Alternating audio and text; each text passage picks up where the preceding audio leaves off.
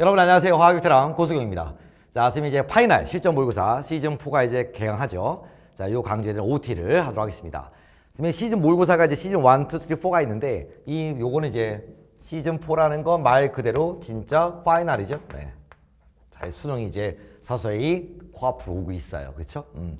근데 코앞으로 온다는 건 긴장도 많이 하지만 사실은 여러분의 어, 잠재력도 이제 터질 때가 된 거지. 그죠? 여러분을 믿으셔야 돼요. 그죠? 스스로 믿어야 문제도 잘 보이는 거야. 자신감이 없잖아? 그러면 평상시 풀던 문제도 못 풀거든. 알겠죠? 자, 일단 선생님 시즌 모의고사는 1회, 2회, 3회, 4회로 구성되어 있고요. 다 알죠? 자, 총 30회인데 시즌 1이 4회였고요. 5, 4회, 3가 10회. 그 다음에 지금 나오는 파이널이 12회가 되겠습니다. 네. 네, 선생님의 그 모의고사를 받으면 혹시라도 이제 여기까지는 이제 안 들었다가 여기만 이제 듣는 친구도 있을 건데 아마 교재를 모의고사 받으면 어, numbering이 어, 왜 1회부터 없어라고 할 수 있는데 선생님 numbering은 누적으로 하거든. 그래서 어, 시즌 1회가 4회까지였고요. 시즌 2가 8회까지였고 시즌 3가 18회까지였어요. 그래서 어, 지금 final은 19회부터 30회로 어, 아마 써 있어요. 알겠죠? 음. 자, 이건 그렇고 자 이제 시즌 4 모의고사는 아 이거는 뭐 앞에는 별로 안 좋고 이건 안 좋은 그런 거 아니야, 그렇죠? 수강 편만 알겠지만 여기 문제도 굉장히 좋아요. 선생님이 엄청 신경 쓴 문제들이 많이 있습니다. 알겠죠? 어. 자, 이때 수능이 다가오는 시즌 4 관점에서는 뭐가 조금 다를 수 있냐라는 건데 일단 9월 평가원을 봤더니 6월 9월에서 9월 평가원 어, 총평에서 얘기했지만 금속의 산화원화 문제가 6월에 나왔고 9월에 나왔죠. 물론 난이도는 없어요. 선생님의 특강도 진행했었고 그죠? 음. 무료 특강이니까 한 번씩 꼭 보시고 금속의 산화원화 문제를 내가 파인할 때는 매 회마다 하나 넣겠다 그랬는데 넣다 보니까 12개나 넣을 만한 가치는 없어 보여. 그래서 8개 넣었어요. 오케이? 음. 이 정도면 충분히 6월, 9월에 준하는 거 플러스 알파까지 다 풀 수 있어. 오케이? 그 다음 어, 6월, 9월 보니까 어때요? 계산이 좀 많아졌죠. 그래서 계산 문항은 역시 그대로 어, 6월 평가원, 9월 평가원 정도의 수준으로 냈어요. 오케이? 그 다음 킬러인데 어, 6월, 9월, 특히 9월에 킬러가 좀 쉬웠단 말이야. 선생님 저는 어려웠는데요. 물론 그럴 수 있는데 킬러니까. 근데 어, 그렇다 그래서 파이널의 킬러의 힘을 뺄 수는 없어요. 그렇지 않겠네요. 그래서 킬러 문항에 대한 난이도는 어, 기존에 있었던 모의고사 정도의 그대로 유지를 했습니다. 그러니까 즉 여기를 어 좀 쉽게 냈다거나 그러진 않아. 알겠죠? 어, 그래서 난이도로 본다면 오히려 계산도 조금 증가됐고 그래서 체감되는 난이도는 더 높을 수 있어요. 그러다 보니까 이게 말은 파이널 모의고사지만 그래서 막 시간 제고 푸는 건 물론 좋아요. 좋은데 그렇다 그래서 이렇게 해서 아마도 여러분이 수능장에서 만나는 이 시험은 선생님이랑 푸는 시험지에 비하면 어, 난이도는 조금 더 쉬울 거예요. 걱정하지 마시고요. 어, 실제로 이제 수능장에서 보는 3페이지까지 가는 시간은 되게 짧아. 우리 평상시 연습에 비하면. 그래서 너무 10가지 가는데 시간이 모자라요라고 불안해하지 마시고요. 그렇다 해서 마지막 파이널을 사기 진작용으로 낼 수는 없잖아. 그렇지 않겠어요? 이거를 엄청 쉽게 내가지고 뭐 여러분 점수가 막, 막 시간에 다 풀고 막 50점, 47점 막 이런데 마지막 정작 수능 어려워. 야 그러면 큰일 나잖아. 그쵸? 수능은 쉽게 나올 수는 있지만 대비는 어떻게 해줘야 돼?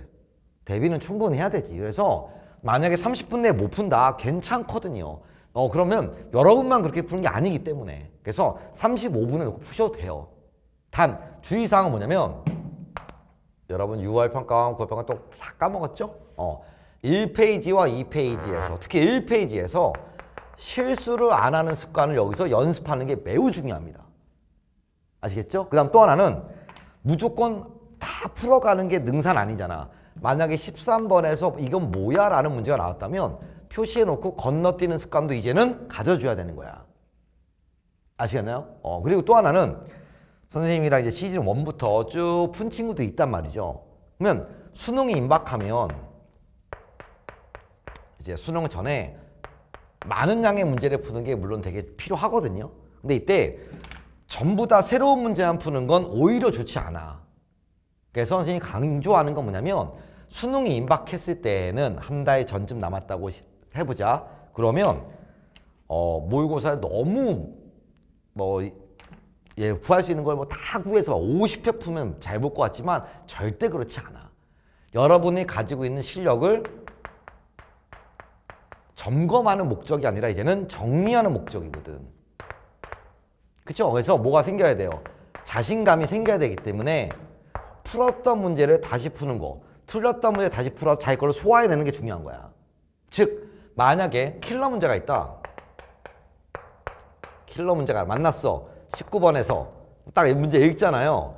문제를 읽었을 때 눈으로 자료를 딱 풀면서 그래프가 있다, 뭐 표가 있다라고 한다면 이걸 읽었을 이 연습을 하셔야 돼 이제는 표를 만났을 때 아 이걸 읽으면서 야 그래 이거는 이렇게 해서 이렇게 해서 접근해야 되겠네라는 생각을 하셔야 되는 거예요. 이걸 안 하고 그냥 더 들어가면 안 돼. 수능장에선 그렇게 들어가서 푼 문제는 존, 당연히 제한 시간 내에 풀 수가 없거든. 그런데 여러분은 항상 내가 하지 말라는 뒷북치는 공부를 한단 말이에요. 뒷북치는 공부가 뭐냐면 어 이제 모르겠어. 아이 못 풀겠네.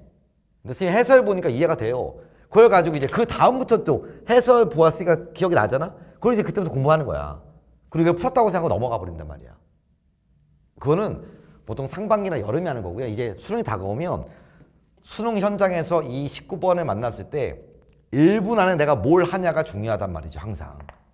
1분 안에 내가 뭘 하려면 물론 기본적인 중화를 다루는 훈련, 아니면 루틴, 아니면 습관 이런 게 몸에 배어 있어야 하지만 자, 그 자료를 보는 능력을 키워야 돼요. 야, 이거는 몰롱도가 나왔으니까 부필 곱해서 가야 되는구나. 이거는 아, 얘가 산성인 걸 알아내야 돼. 산성인지 영시인지 알아내는 게 핵- 핵심이겠구나. 이런 걸 키워야 문제를 보는 시야가 넓어지게 되는 겁니다. 아시겠죠? 어. 그리고 가능하시면 아, 틀린 문제만 해석해보는 친구가 있는데 틀린 문제도 물론 봐야 되겠지만 여러분이 찍었던 문제도 있잖아요. 찍어서 맞추면 그 맞춘 거 아니잖아 사실은. 그런 문제 또한 해석해 보시고 애매하다 싶으면 다 보세요. 여러분의 풀이랑 내 풀이 과연 일치하는가에 대한 오케이? 그런 것도 즐겨가면서 어, 마지막 대비를 하면 좋겠습니다. 중요한 건 어, 몇 회까지 푸는 이거를 이런 친구 있어요. 아직도 하나도 안 풀었는데 이거 언제 다 풀어요? 누가 이걸 다 풀면 좋은데 그렇다 해서 하나도 안 풀 수는 없는 거잖아. 그죠? 최대한 풀 수 있는 만큼 풀고 가는 거기 때문에 여러분이 구- 뭐 가지고 있었던 시즌 1, 2가 있었다면 거기서 어 지금 이거 밀렸는데 그것부터 먼저 또 푸시고 알겠죠? 최대한 여러분이 능력 되는 만큼 최선을 다하시면 됩니다. 여러분은 할 수 있습니다. 여러분 화이팅!